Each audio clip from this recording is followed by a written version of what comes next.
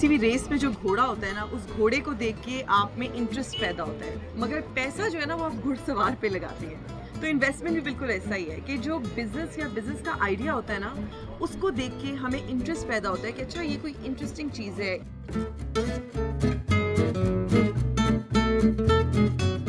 ज़िंदगी में कभी ना कभी आपने भी अपना कारोबार शुरू करने का इरादा यकीनन किया होगा। लेकिन शायद बहुत से लोगों की तरह आपको भी सरमाया ना होने की वजह से अपना ये इरादा तर्क करना पड़ा हो। या शायद आप अभी भी अपना कारोबार शुरू करना चाहते हों, लेकिन इसके बरक्स आप किसी सरकारी या निजी महकमे में मुलाजमत कर रहे हों। तो घबराइए नहीं, अभी भी देर नहीं हुई। अभी भी वक्त है कि आप अपना कारोबार शुरू करके अपने ख्वाबों की सरजमीन पर कदम रख सकते हैं। आप सुन रहे हैं बीबीसी उर्दू की पॉडकास्ट और मैं हूँ सना सिफ्तार अपने कारोबार के लिए सरमाया जमा करने का एक तरीका है वेंचर कैपिटलिज्म का।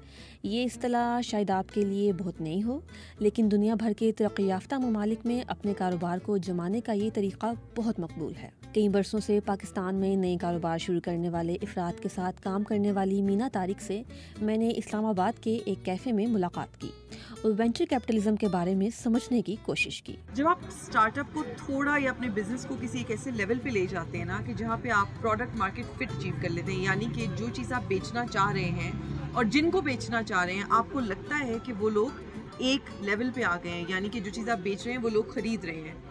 और आप कोई सेल्स जनरेट करना शुरू कर देते हैं, आप पैसे कमाना शुरू कर देते हैं। तो फिर आप जाते हैं इन्वेस्टर्स के पास और जाके कहते हैं कि ये मेरा आइडिया था, इसको मैंने वैलिडेट कर लिया, इसको मैंने ट्राई आउट किया है और जो चीज़ मैं बेचना चाहता हूँ, वो लोग ख़रीदने को तैयार हैं। तो मेरे ख्याल में इसमें पोटेंशियल है कि ये आइडिया अब बहुत बड़ा बिज़नेस बन सके और बहुत बड़ा बिज़नेस बनने के लिए इसको पैसे की ज़रूरत है। तो तब एंजल इन्वेस्टर्स जो कि इंडिविजुअल्स होते हैं, ऐसे लोग होते हैं जो, जिन्होंने कारोबार में पैसा कमाया होता है, जिनके पास पैसा होता है, वो इन्वेस्ट करना चाहते हैं। या फिर वीसी फंड्स जो कि ऐसी ऑर्गेनाइजेशंस या ऐसी कंपनियाँ होती हैं, जिनका काम ही यही होता है कि वो स्टार्टअप्स और बिजनेसेस में इन्वेस्ट करें। आपके जहन में अगला सवाल यकीनन ये होगा कि वेंचर कैपिटलिज्म फंड देने वाली कंपनियों को कैसे तलाश किया जाए और उनसे आखिर कैसे रबता किया जाए। तो इस बारे में मैंने एम फिट नामी स्टार्टअप की बानी महलका शौकत से रबता किया।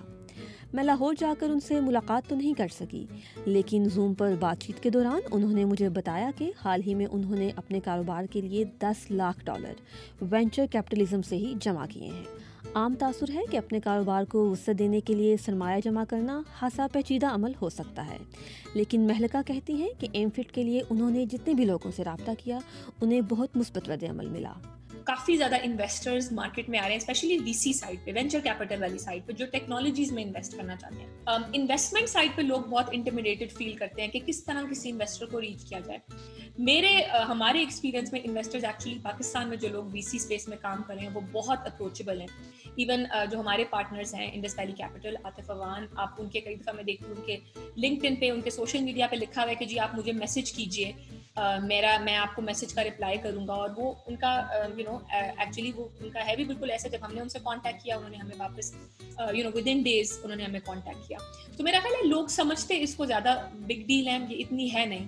प्लीज़ खुल के लोगों को you uh, know you know, अपना पैगाम भेजें रीच आउट करें लिंकड आपके पास है सोशल मीडिया की एक्सेस आपके पास है। अब आपको वेंचर कैपिटलिज्म के बारे में थोड़ी बहुत समझ तो यकीनन आ चुकी होगी। मगर सरमायाकारों को अपने कारोबार में पैसा लगाने के लिए रजामंद करना कोई आसान काम नहीं। इसी बारे में महलका ने नौजवान सरमायाकारों को मशवरा दिया कि वो अपना कारोबार शुरू करने से पहले ये बात जहन में रखें कि इनके कारोबार से माशरे का कोई मसला ज़रूर हल होना चाहिए। एक तो आप ये देखें कि आप कोई ऐसा मसला, आपका जो बिज़नेस है, वो कोई ऐसा सोशल प्रॉब्लम सॉल्व करें जिसको लोग फेस कर उसका, वो बड़ी आपकी ना एक तरह से वो चीज़ आपकी आसान हो जाती है, क्योंकि बहुत सारे लोग एक तरह से इंतज़ार कर रहे होते हैं उस प्रॉब्लम के सोल्यूशन का। और अगर कोई यू नो ऐसा कोई सोल्यूशन लेके आता है तो लोग बहुत उसको खुले दिल से एक्सेप्ट करते हैं। पाकिस्तान में मैंने इस चीज़ को बहुत देखा है स्पेशली अब टेक्नोलॉजी अगर कोई सोल्यूशन पे आप काम कर रहे हैं तो मोबाइल फोन्स की इंटरनेट की बहुत ज़्यादा पेनिट्रेशन है। तो बहुत ज़्यादा ईजी अपटेक है इस तरह के सोल्यूशन का जो आपकी लाइफ ईजी करते हैं। सो so, एक तो मशवरा ये है कि कोई ऐसा प्रॉब्लम ढूंढें जिसको आप वाकई एक जेनुअनली एक कंस्ट्रक्टिव सोल्यूशन उसकी तरफ़ लेके आए। दूसरा प्लीज़ कोशिश करें रीच आउट करें लोगों तक अपना पैगाम लेकर जाएँ। मीना तारिक, जो खुद भी एक वेंचर कैपिटलिस्ट फंड में एक पार्टनर हैं, कहती हैं कि पाकिस्तान में अपने कारोबार के लिए पैसे जमा करना कोई आसान काम नहीं, क्योंकि पाकिस्तान में स्टार्टअप्स का निज़ाम काफ़ी नया है और पाकिस्तान में इस वक्त सिर्फ़ आठ से नौ वी फंड हैं। यानी एक तरफ़ स्टार्टअप ज़्यादा हैं तो दूसरी तरफ़ पैसे देने वाले लोग या वी फंड बहुत ही कम हैं। कुछ चीज़ें जो हम देखते हैं, वो ये देखते हैं कि जो बिज़नेस शुरू कर रहा है, उसकी अपने क्या एजुकेशन है या अपने क्या एक्सपीरियंसेस हैं, अपने क्या तजुर्बे हैं, जिनको मद्दनज़र रखते हुए हम ये सोच सकते हैं कि ये इस बिज़नेस को चलाने के लिए बेहतरीन शख्स है। दूसरा, वो उस बिज़नेस में कितना इन्वेस्टेड है, उसको कितनी एक्साइटमेंट या कितना पैशन है अपने बिज़नेस को लेकर? तीसरा, फिर हम ये देखते हैं कि इस बिज़नेस का, जैसे मैंने कहा पोटेंशियल कितना है। इस बिज़नेस को ख़रीदने वाली मार्केट कितनी बड़ी है, कितनी तादाद में ऐसे लोग मौजूद हैं जिनको ये आइडिया पसंद आएगा और ये प्रोडक्ट या सर्विस वो पैसे दे के ख़रीदने को तैयार होंगे।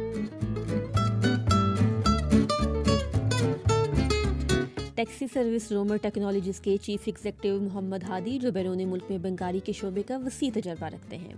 ने मुझे बताया कि पाकिस्तान में नौजवान सरमायाकार, कंपनी में सरमाया लाते हुए बहुत सी गलतियाँ भी कर बैठते हैं। और सबसे बड़ी गलती ये कि वो अपनी कंपनी का ज़्यादातर कंट्रोल सरमायाकार को दे देते हैं। जो बच्चे कंपनियाँ कायम कर रहे हैं, वो शायद टेक्निकली बड़े सावी होंगे but they don't understand finance ये नंबर वन चीज़ जो आपको चाहिए within a business it is your financial model तो जो फाइनेंशियल मॉडल है, वो आपको बताएगा कि आपका रोड मैप क्या आपका प्लान क्या है आगे जाते हुए। So they should figure out based upon that road map कि उनको कितने पैसे रेज करने होंगे।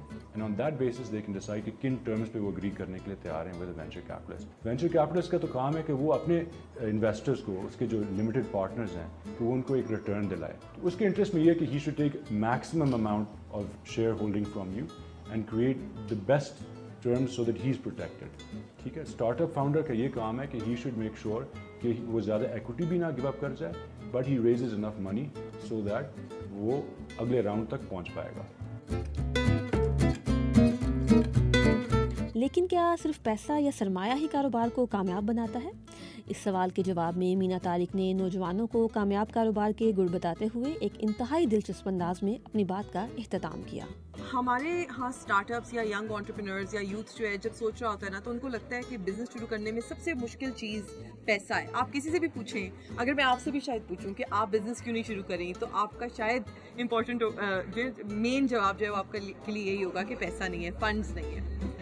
असल बात यह है कि फंड्स जो है ना, वो सिर्फ़ फ्यूल है। बिल्कुल वैसे ही जैसे आप अपनी गाड़ी में पेट्रोल डालते हैं या डीजल डालते हैं, वो फ्यूल जो है, वो कैश है या पैसे हैं।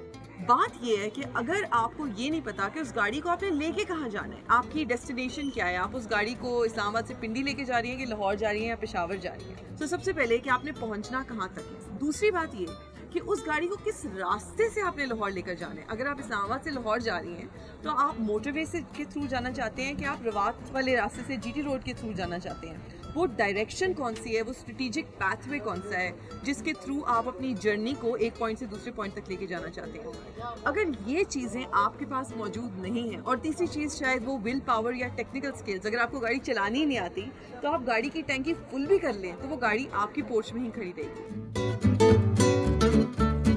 अगर आप इस बारे में मज़ीद जानना चाहते हैं तो बीबीसी उर्दू की वेबसाइट पर तशरीफ़ लाइए, जहाँ पर मेरी ये तहरीर मौजूद है।